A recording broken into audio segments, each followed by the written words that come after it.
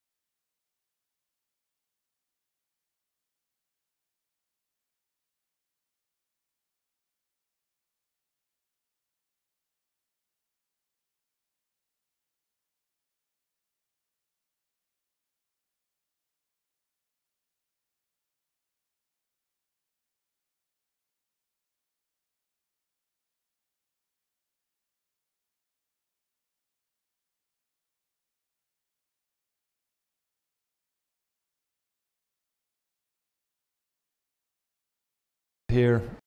Shorten lines this one up. And Shorten has levelled things here, Matt. Five and a half minutes gone, a point apiece. Yeah, um, you're right. You flagged it. it. It was a difficult enough kick, particularly for a right footed kicker. Um, it should be meat and drink if he was a left footed kicker. But he, he made it his own only just, mind you, from what we could could see here.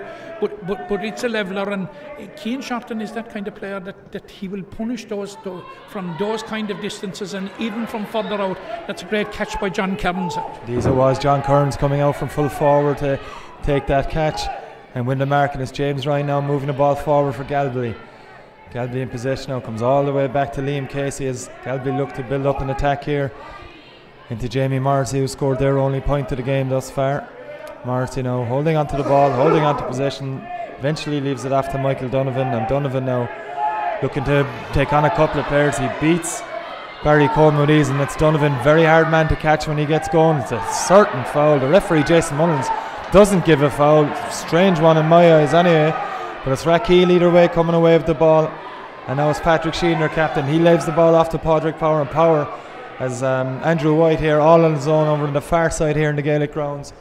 Six, nearly seven minutes gone here of this intermediate football championship final. That's one point apiece between Rathkeale and Galbally. It's Rathkeale on the attack now with Owen O'Donnell. O'Donnell gives the ball inside to one of his full forward members, but in that occasion it was Owen Kelly. He leaves it off to O'Grady.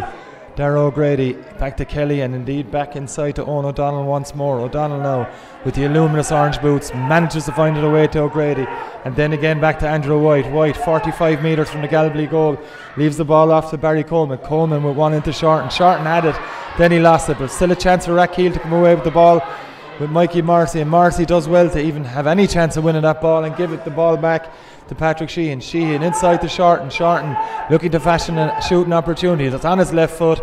It's his weaker of the two feet. It's tailed. Set it out far from the left hand post.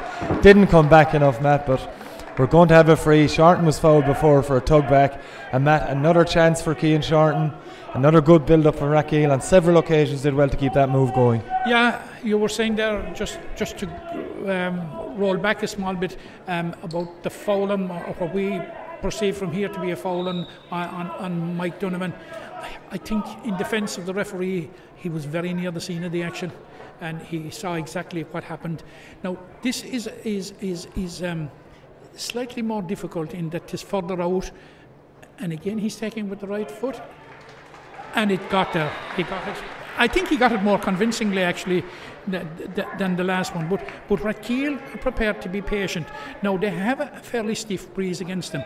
Now this is something that Galbally playing against the breeze in the first half may be well prepared for because you will recall in the semi-final with Palace Green there was a storm and Galbally played it against against it in the first half and turned over just a point down and I think they probably surprised um, uh, probably surprised uh, Palace on that particular night because they did not retreat into a defensive shell as you would expect to, to, to defend um, against the breeze. They, they, they, actually took the game to Palace Green. Now they're not doing it to the same extent yet tonight, but of course they're not being allowed to do so. But the breeze, the breeze is not as strong. But you have to admire the patience of of, of um, of Rathkeale and their building build up and the way they're moving it through the hands. And I suppose a lot of that is credit to Killian Fair, who, who, whose reputation as a coach is, is, is rapidly growing. And, and like th- this man has, has, has seen it all. Like he, back in his native Cavan, through London and in, more recently with Drum, Drom Broadford. And he, he has won county medal, county senior medals with Cavan Gaels, with St Brendan's in London, and more recently with Drom Broadford. A very, very experienced performer, very and um, a really, really fastly rising coach. It's um, two points to one here to Rathkeale after nearly 10 minutes of this Limerick Intermediate Football Championship final. There's Galbally on the attack once more as James, James Cummins in possession again. He leaves the ball off in front of him the corner forward, Jer Quinlan. Quinlan now looking to fashion a shooting chance. That's going to tail to the left and wide. As Matt was just saying, we're going to have um, a blood sub on here for Rathkeale. Is their captain Patrick Sheehan, who's been forced off, as you may have seen a couple of moments ago. And on for him is Dean Moan. Dean wearing number 16, but it's going to be um, a, a, a Rathkeale kick out now with Johnny Mooney to take. Patrick Wilmot in front of us, moving, making good movement for him, but it's a straight kick out, and it's going to be more possession here for Rathkeale, who've started this game very brightly. Out to Dara O'Grady now. And so Grady gives it back inside to Wilmot. Wilmot, who's seen a lot of the ball in these early stages, early opening 10 minutes, leaves the ball off to O'Donnell. Wilmot makes himself a bail again. He's going to be fouled. Foul is committed there by David Cusson. He's going to get a word in the ear from Jason Mullins. It's only a short word, but it's going to be another chance, Matt O'Callaghan, for Cian Shorten. He's shown what he can do from place balls twice already. they keep making it harder for him with each free. But again, given what he's done the first two, given the fact that he's had he has a fairly stiff breeze within his advantage, it's a chance he may may well get. It, it, it's a third one in, in in terms of angle from the goal in the exact same position but the distance is getting longer. It's it's the, it's the furthest out of the three now. He's, I suppose, he's a f- good five yards. You must remember, Ger Ryan almost got caught the last one, so this this will be very interesting. He needs to get more purchase on this one. The, the last one just got over the bar. It's Shorten once more. He's definitely got more purchase. He's had more a better connection with that than any of the previous two. And Rathkeale now into three points to one lead over Galbally in its intermediate football championship final, brought to you on SportingLimerick.com. 12 minutes played, Matt, and you have to be impressed by Rathkeale's start. Yeah, very impressed. Um, they're, they're, they're, um, they're, they've been very, very lively and um, they, they have been sure-footed with their passing and well able, well able to keep ball and like Galbally aren't able to, to um, um, you know, force them into, in, into error. And certainly in terms of physicality, you would have to say it's it's advantage Galbally. But I suppose in the wide spaces of, of, of the, the Gaelic grounds, young fresh legs like this and young fellas full of running, and this is what Rathkeale have, and they are full of running. Um, the trick will be to, to maintain it for 60 minutes. Indeed, it will. As Galbally on the attack here, it's going to be a foul on John Kearns maybe 50 metres from goal. It's going to be taken quickly. It's a poor enough pass down. So Rathkeale come away with the ball through Jack Hennessy. Hennessy has options. He gives it inside to Adam Shannon. It's going to go all the way back to Johnny Mooney as a restart another attack with Barry Coleman here taking the ball inside his own 14 metre line. He's got up to the 45 metre line without any challenge whatsoever. As Galbally funneled back. And here comes Patrick Wilmot again. We've already mentioned Wilmot in commentary a number of times already. Seen a lot of the ball here in the opening 13 minutes of this final. And it's Rathkeale over the far side with Andrew White. Perfectly happy to take his time with his build up, move the ball eventually. But it's, it's a ball in eventually, but it's straight down the throat of a Galbally def- defender. It's Galbally come away with it now. But under pressure from Rathkeale, but it's Galbally. Zone O'Donnell's pass in that time, attempted ball into Cian Shorten, but it's Galbally will come away with James Rhino gives it out to his midfield partner. That's David Cusson. Cusson on the run now, and it's up up instead to Mark Quinlan. Quinlan with the ball. He doesn't have any options in front of him, does Quinlan, so he's going to have to go it alone. He's doing a good job of it under pressure from Owen O'Donnell so far. It's Quinlan eventually with the shot. That's gone very, very well to the left and very much wide, Matt. And fairly indicative of the first few minutes here, the opening quarter, where Mark Quinlan made a good run but he's zero options in front of him. No, that's exactly it, John. And no options. Contrast that with Rathkeale when when there's a player on the run. There, there's there's there's sometimes one, two, and three showing, and there's there, there's a player very very often on on, on on the shoulder. Mark Quinlan was left with no choice whatsoever but to kick from distance, kick from an awkward angle, and you know he spectacularly missed, but no fault to the guy. Um, it, it, it was that we have something, a threat here for Galbally. We do indeed. It's a goal chance here. It's a brilliant goal from John Kearns. In fact, it's James Cummins with the goal, I think, Matt, is it? It's hard to see the Galbally numbers. We'll just confirm that. It looks like James Cummins from here at the moment. We'll check that in a second. Either way, it was a quick free taken by Galbally. Ball worked into Cummins, and Cummins turned his man.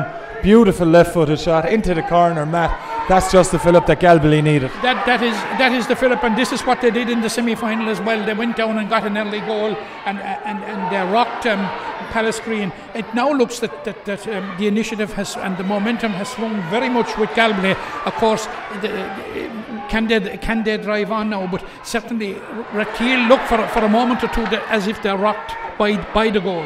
It's James Ryan now on the attack for Galbally. Ryan now Eventually brought back for a free. Referee Jason Mullins playing advantage.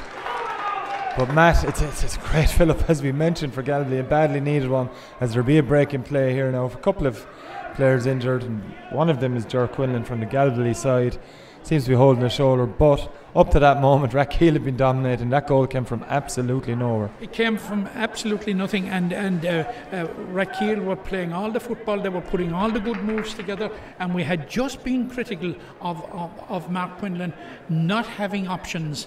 And um, suddenly now there's a spring in Galbally step. They have go- go- gone back down. Um, uh, what they didn't do for the first quarter of an hour, um, they fumbled in, in, in, in, that, in, in that particular situation. And now we have a Galbally free. Now it's a difficult free into the wind. Um, Gary McCarthy is a very, very accomplished free taker. Um, and a lot of experience um, right up through the edges uh, as a free taker. But this one, John, is from distance and it's into the breeze. He's decided to take it short, as Matt was saying there. It's back to McCarthy again here.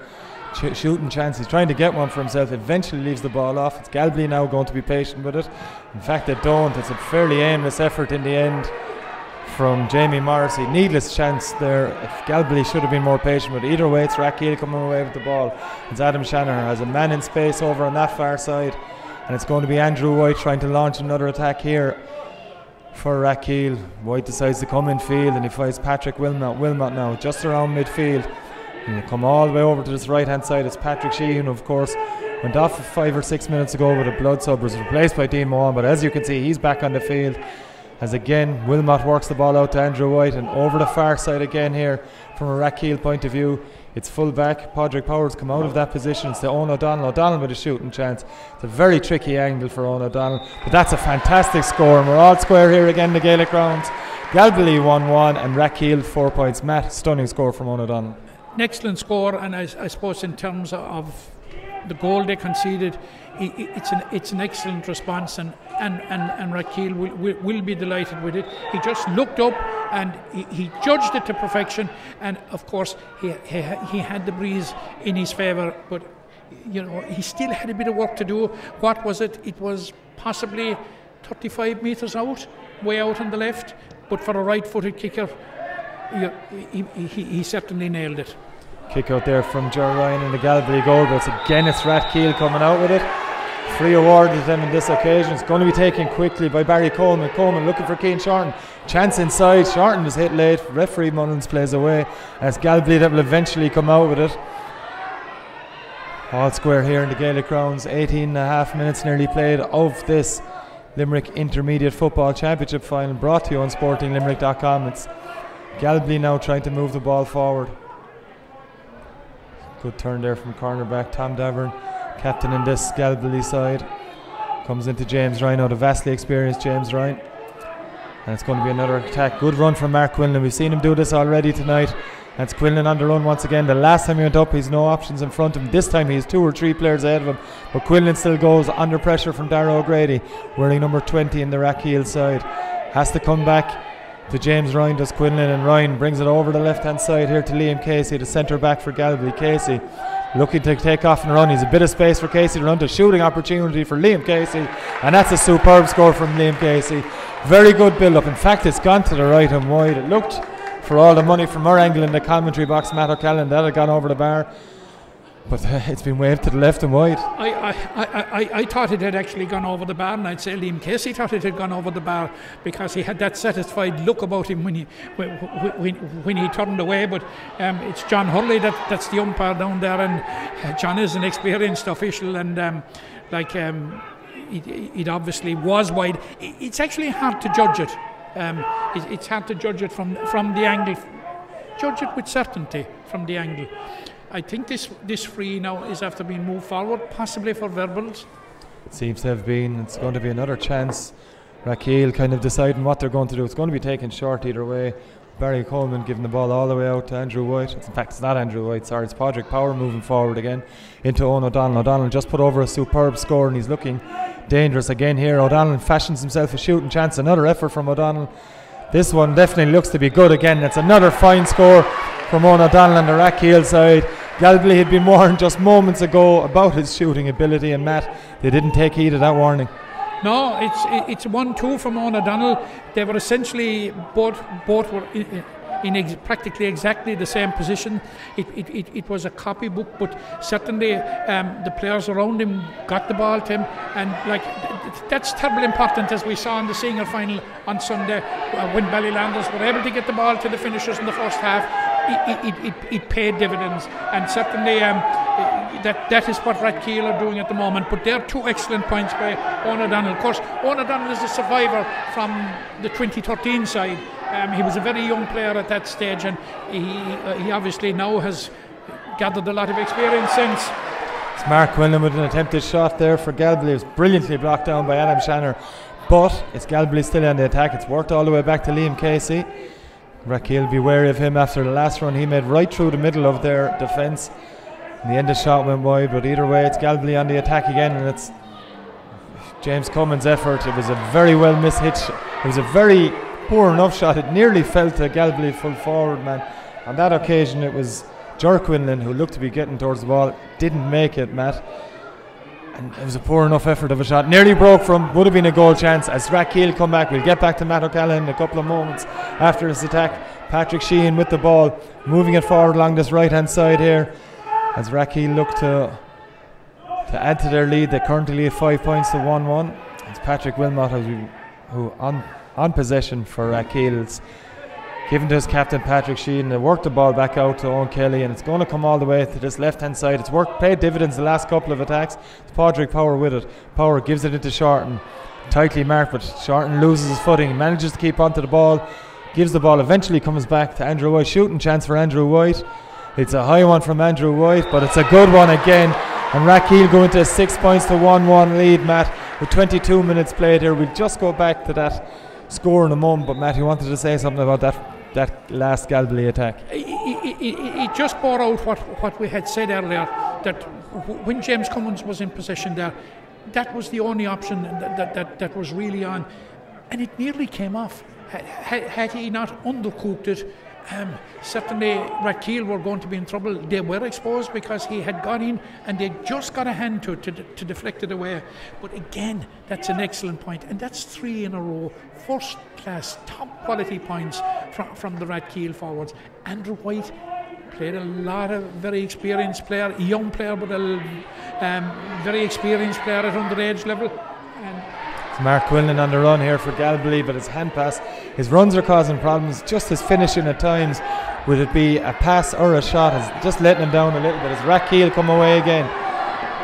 It's Barry Coleman with possession under pressure from David Cusson. Coleman manages to give it inside, and it's Paul Sheehan, the Rathkeale captain, who has possession now. They're going to work it out this left hand side again, and it's Andrew White to Wilmot. O'Donnell on his outside, but Wilmot decides to hold on to the ball on this occasion. He gives it back inside to Andrew White. White looking at his options, decides to give it long. He finds Cian Shorten with that long delivery. Shorten with a shooting chance. He decides to give it across a goal chance, maybe. There was a chance if Owen Kelly was able to get possession, but he was brilliantly, brilliantly intercepted. And I think that's John Kearns all the way back there, Matt. And it's Galbally coming away with the ball again. Indeed, it was John Kearns, and it's on the attack. And it's Jer Quinlan with possession for them. He manages to give it off and then takes it back again. And eventually comes to Cusson. Then back again to Jer Quinlan. Good defending from Rathkeale. They're stopping that attack, that movement. Done well to stop on that occasion. It's Jamie Morrissey now for Galbally. Up against Patrick Sheehan, the Rathkeale captain. Morrissey with not many options has been a feature of this first half from a Galbally point of view. Not many options in attack, certainly not enough. Comes all the way back to David Cusson. Cusson looks for Cummins on his right shoulder, and it's Cummins on the run. James Cummins now with the ball. In fact, that's Michael Donovan, Michael Donovan with the ball. As Matt O'Callaghan mentioned earlier, it's very difficult to see the numbers on these Galbally jerseys, but we're doing our best from the commentary box at the moment. Mark Quinlan, that's certainly Mark Quinlan with the ball. We've seen him run tirelessly in this opening 24, nearly 25 minutes. Gives the ball off to James Ryan. Ryan now with a chance. Man on his out, out on his right hand side. It's not the best of passes from James Ryan. There's still a shooting opportunity. It's a good touch.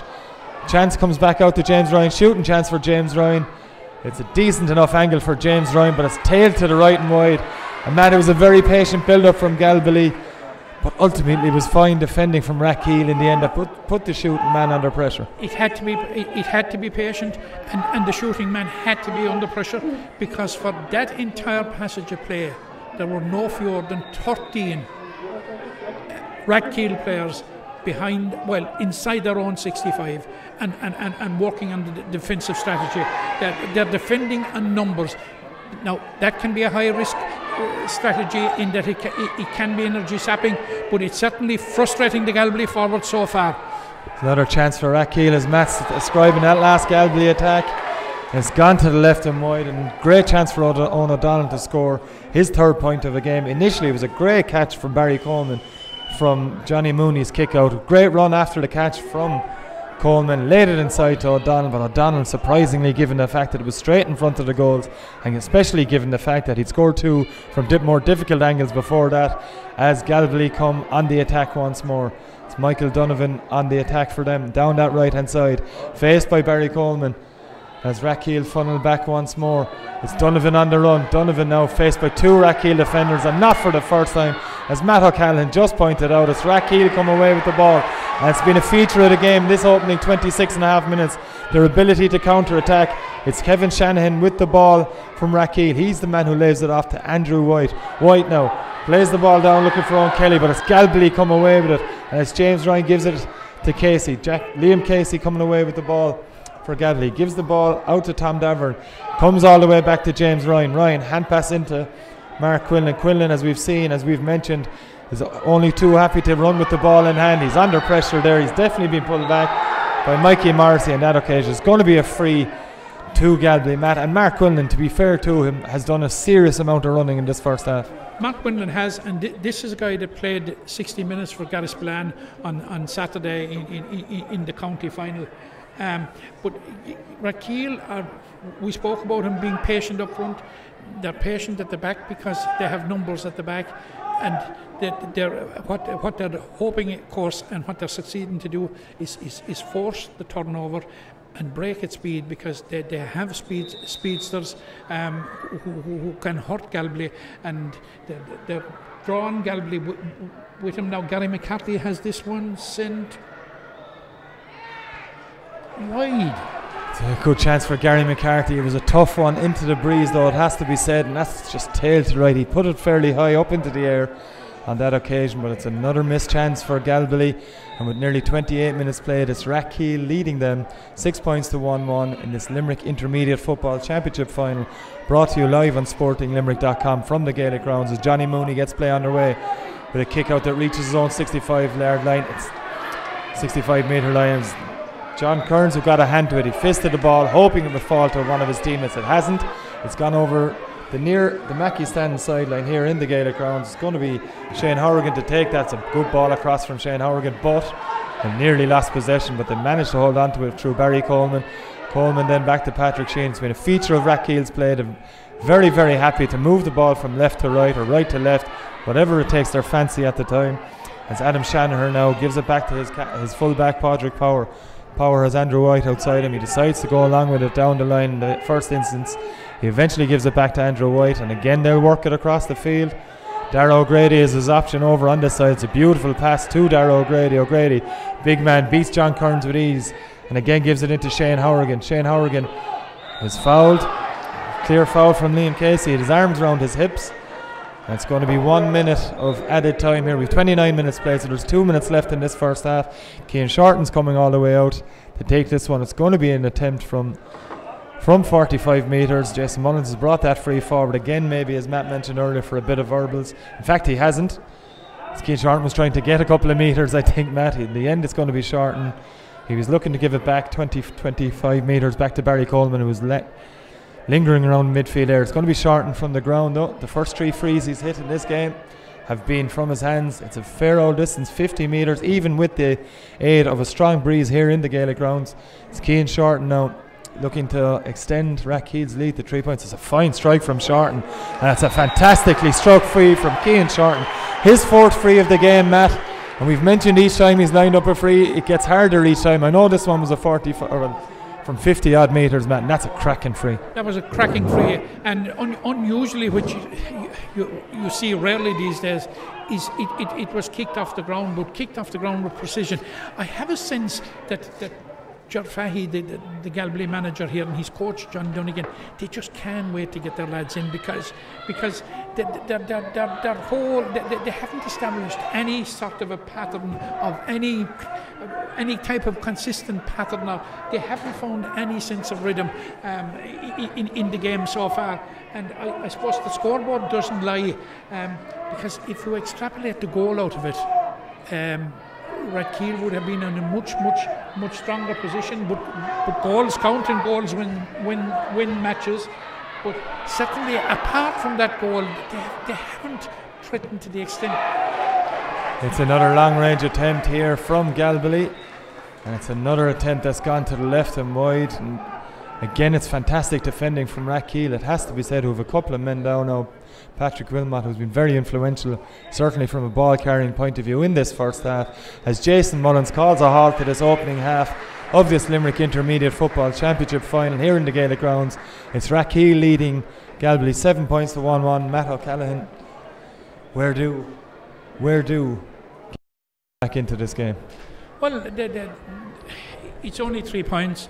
It, it, it's very doable. It's it, it's very manageable but I'm not so sure that it is that manageable with the way they have played. They have found no level of consistency at all through the game. As I was saying to you there towards the end of commentary, if we extrapolate the goal out of it, um, you know, it, it, it, would be seven points to one. All right, it's seven points to four. And I suppose it's fair to say that, that does it fully reflect um, uh, the type of play and um, the approach of, of Rathkeale? I would say it doesn't.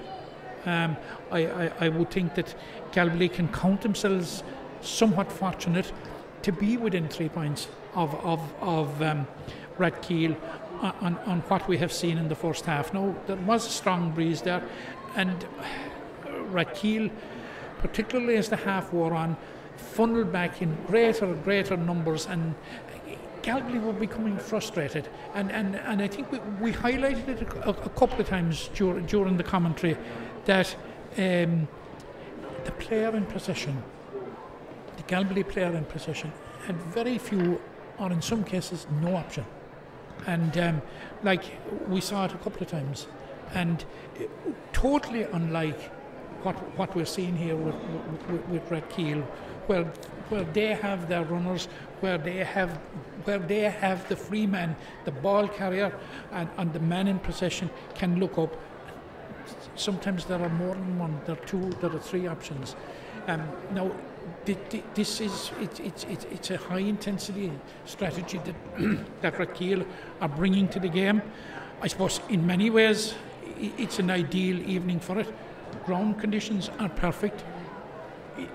The prevailing climate is cool so like you, you, would be able to sustain it. Um, what I feel about it is we've seen 31, 32 minutes of play, and normally in every half, a team gets gets their period in top. I'd say you, you could say in that first half, Galbally weren't in top for no more than three or four minutes which was around the time of the goal and immediately afterwards. And like th- there were signs that they were, they were breaking Rathkeale's grip in the game, but certainly Rathkeale found their rhythm very, very quickly again, which is a good sign of a team, mind you. And and um, I, I, think Galbally have a lot, a lot of work eh, to do in the second half. It's doable. I'm just looking there at their bench. Um, I'm, I'm just wondering will, will they be tempted to make changes? And, and, and what changes might they make? Could we see Kieran Hickey in, in, in the second half? Could we see Cathal Shanahan in, in, in, in the second half? But looking at the configuration of, of, of the um, of, of the Galbally team, all the defence apart from Mark Quinlan are the most experienced players in it and of course James Ryan. James Ryan is very, very experienced with, with, with another young player, David Cusson. But apart, apart from John Kearns, the forwards are youngsters. And um, uh, I, am just wondering um, do, do they need to bring in a seasoned head up there? Because um, we, we saw him running into blind alleys, running out of options in, in the first half do they need to bring in somebody to steady it down? And like as I said, I, I, I would be thinking of somebody like Kieran Hickey, or, possibly Jack Donovan. Bring him into the edge of the square and, and, and put the ball in there. He's quite capable of causing a lot of problems.